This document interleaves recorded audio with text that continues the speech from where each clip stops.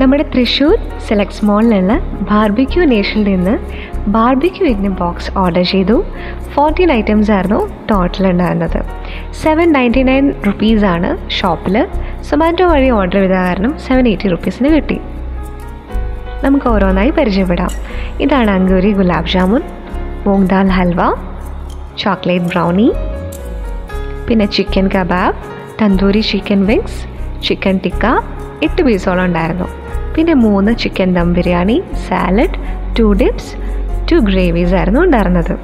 ആദ്യം തന്നെ നമുക്ക് ബിരിയാണി എങ്ങനെയുണ്ടെന്ന് നോക്കിയാലോ.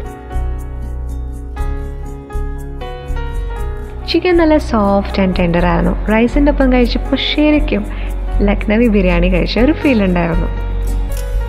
കബാബ് കൊള്ളായിരുന്നു കേട്ടോ. ഡിപ്പിന്റെ ഒപ്പം കഴിക്കാൻ നല്ല ടേസ്റ്റ് ഉണ്ടായിരുന്നു.